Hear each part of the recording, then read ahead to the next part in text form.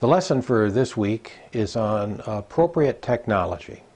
Now in the previous lessons we've looked at some pretty high-tech kinds of things. You know, we've looked at space travel, we've looked at manufacturing, we've looked at medicine, we've looked at biotechnology. Now what we're going to do is we're going to focus on technology, how it might be used uh, in a third world nation. See, not everything that's, that's developed as technology can be used uh, everywhere around the world. Not too long ago, people who lived here in Kansas had difficulty getting phone service with some of the providers because they just didn't have service in our areas. Well, that's changed and we now have that technology available. But at one point, the appropriate technology for us would not have been an iPhone or an Android because the providers didn't have that capability of providing that level of service. So we're going to look at appropriate technology and what that means for third world nations. Now, let me give you a definition of appropriate technology. The book kind of uh, uh, does this also, but let me give you a little bit different one. Appropriate technology's goal is to increase the standard of living for a developing world without condensation or condescension complication, or environmental damage. We don't want to be condescending to these other nations. We don't want to treat them as if they are somehow not as good as we are. And we don't want to complicate them with different technology, nor do we want to uh, damage their environment. So when we look at appropriate technology, we're going to find some things are true about it. First thing we're going to find is true is they're more labor intensive. You know, some of the technology we have today is, is not labor intensive at all. In fact, uh, what it does is it undo, undoes a lot of the labor that's required. But a lot of the appropriate technology is more labor intensive. Requires fewer resources and uses low cost material. So, for example, my phone probably would not fit as appropriate technology in some of these countries. Computers, as we know them, would not be appropriate in some of those areas. Now, the book defines three ways to look at appropriateness of technology. It says we can look at technological, cultural, and economic issues involved with the area where we're trying to provide that appropriate technology. Let me give you an example of 10 pieces of appropriate technology. These have been rated by uh, an organization, and believe it or not, there are groups out there who deal just with appropriate technology. They have ranked some of the uh, technologies that are available. The first one is discussed in the textbook. It's that one laptop per child. These are very expensive laptops. Uh, they're, they're not really cool. Um, no one's going to buy one and take it to the boardroom or the classroom. They're kind of juvenile looking but they're very inexpensive and they're, they're networked. I heard the, uh, the gentleman who uh, developed this project speak at a conference a few years ago. These are networked on a serial uh, uh program so that if you have a child in one village and then a child in another village and a child in a third village, they're able to get some internet connectivity if that first child has connection they wirelessly are able to connect with these other villages. Now, these villages are not very far apart. It's not like living here in Kansas where you have to drive quite a while to get to the next community. These villages tend to be closer together. Now, there's some people who say, well, why do you want to give a computer to a kid in a third world nation? Well, we know that computers help and enhance learning.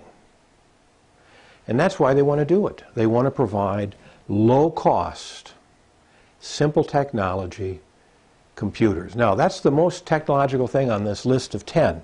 The second one is a solar powered light bulb. It's an LED light that in, in African and Asian uh, nations that have a great deal of sunlight, they have collectors that collect and store the electricity, and they can run those lights at night. Now you think, now, you know, how if it only runs for three or four hours, what good is that? Well, it saves them a lot of wood because they don't have to build fires. They're able to use that light. And most nations uh, go to bed when it gets dark anyway. But this provides them very low cost, very low cost way to have a light bulb. Another one, uh, number eight, is can concrete canvas shelters. If you've watched the news, you see that, that people, large groups of people are run out of one country for one reason or another, and they need to provide shelters. Well, what these shelters are, they have a large rubber balloon, a bladder, inside that they inflate, and then they put this concrete canvas covering over it and just pour water on it. And that then creates a shell, and it can hold uh, several families in these units, and they'll last for up to two years. So it provides temporary shelter very inexpensively. You know, that's, that's a very low-tech way of providing something, some technology that will help enhance their lives. Number seven, the Universal Nutsheller. This has won several awards. A lot of the African nations grow peanuts, and shelling peanuts is a very difficult thing.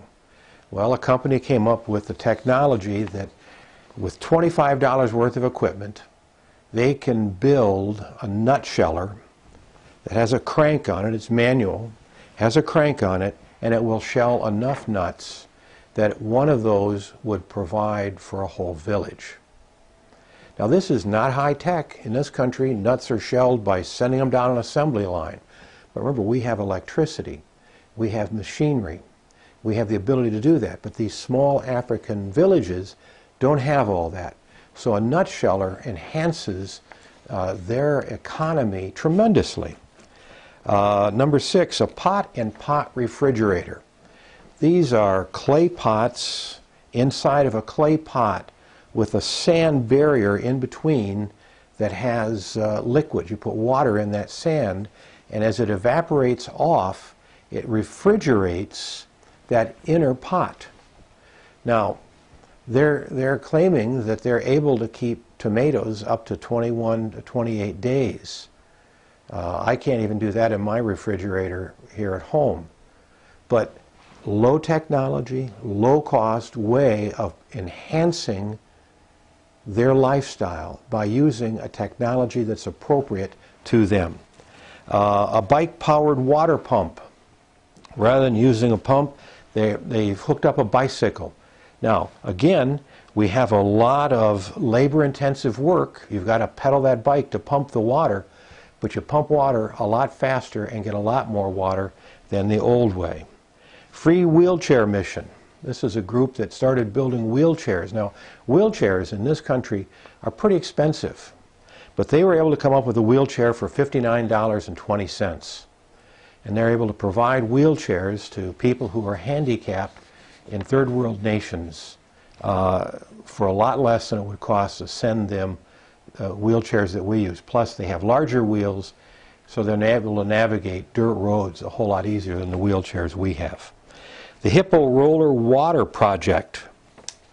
You've probably seen pictures of women carrying five gallon ceramic jars on their head uh, bringing water from a stream back to their village. Well, what this Hippo Rolling Water Project did is it, it created these large barrels that hold 24 gallons of water, so almost five times the amount of water that they would carry, and they're on rollers. They just roll them from the water back to the village.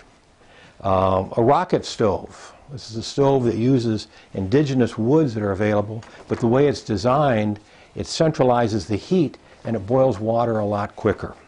And the last one, number one, the life straw. This I found to be an absolutely fascinating device. Um, one of the problems that people have is polluted water in, in some of these uh, third world nations. Life straw is a device where you can put it in the water and there's a straw that you pull the water up through, but the water goes through a filter before it hits your mouth.